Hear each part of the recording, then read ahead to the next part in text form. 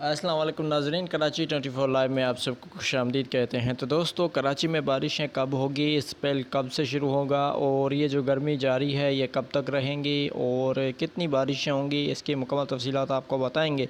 उससे पहले आपसे सिर्फ़ छोटी सी गुजारिश करते हैं, इस वीडियो को लाइक करें, चैनल को सब्सक्राइब करें, और बेल आइकन दबा दें, ताकि मौसम की लम्हा व लम्हा अपडेट अब तक पहुँचाई जा सके। तो दोस्तों, सबसे पहले बात करते हैं सिंध के मुख्तलिफ़ शहरों में, जिसके सखा जकवा लाड़काना दादू, Moro, Johi Wahi Pandhi, Naushahro, Feroze, Kandiaro, Nawab Shah Nawab Shah city, Hyderabad Hyderabad city, Hyderabad division, Ghotki, Tando Muhammad Khan, Tando Jam, Tando Allahyar, Sanghar समेत इन सभी इलाकों में अगले दो से तीन रोज़ तक मौसम खुश्क रहेगा, लेकिन इन सभी इलाकों में इन गरज चमक के साथ मानसून बारिशों का आगाज़ 30 जुलाई 2022 को शुरू हो जाएगा। इन सभी इलाकों में तीस या फ़र्स्ट जुलाई 2022 से बारिशें शुरू हो जाएँगी और इन सभी इलाकों में तीन से चार रोज़ तक ये बारिशों का स्पेल होगा और इस दौरान इन सभी इलाकों में गरज चमक के साथ मूसलाधार बारिशों के इम्कान हैं।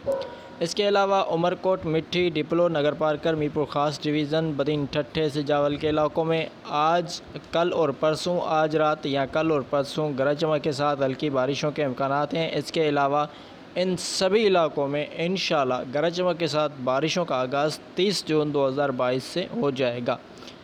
अब बात करते हैं कराची की। तो कराची के ज़्यादातर इलाकों में बारिशों का आगाज़ इन जो कि इम्कान हैं कि फ़र्स्ट जुलाई 2022 से होगा। इस वक्त कराची के मुख्तलिफ़ इलाकों में शदीद गर्मी पड़ रही है। ये गर्मी, ये सिंध में भी ये गर्मी पड़ रही है। ये गर्मी इस वजह से पड़ रही है क्योंकि एक लो प्रेशर अरबियन सी में बना हुआ है। ये अरबियन सी वाला जो लो प्रेशर है वो काफ़ी ज़्यादा काफ़ी ज़्यादा ख़राब होता है हमारे लिए। क्योंकि जब भी यहाँ पर लो प्रेशर बनता है ख़ास तौर पर अरबियन सी में वो सिर्फ़ और सिर्फ़ शदीद गर्मी देता है। गर्मी के सिवाय ये कुछ भी नहीं दे पाता। अगर यही लो प्रेशर खाली ये बंगाल से होता हुआ अरबियन सी में जाता और फिर वहाँ पर अगर मज़ीद शिद्दत पकड़ता तो इस सूरत में हमारे पास बारिशें होती लेकिन ये कर, आ, अरबियन सी में बना है, जिसकी वजह से इसमें सिर्फ़ गर्मी होगी। आज शाम या रात तक ये कमज़ोर हो जाएगा, कल तक ये ख़त्म हो जाएगा, इसके बाद हवाएँ बहाल हो जाएँगी। और ये जो शदीद गर्मी की लहर है कराची में ख़ास तौर और सिंध के दूसरे शहरों में, ये इन ख़त्म हो जाएगी।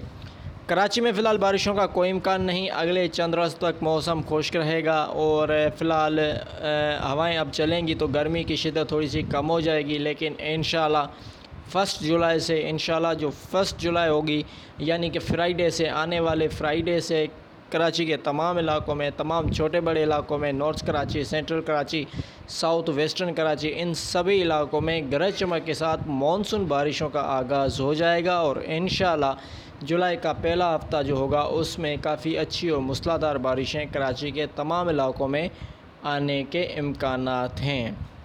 तो इंशाल्लाह इस हवाले से आपको लंबा लंबा अपडेट देते रहेंगे। मौसम में फ़िलहाल इतना ही। इंशाल्लाह अगली अपडेट में दोबारा मुलाकात होगी। तब तक के लिए अल्लाह हाफिज़।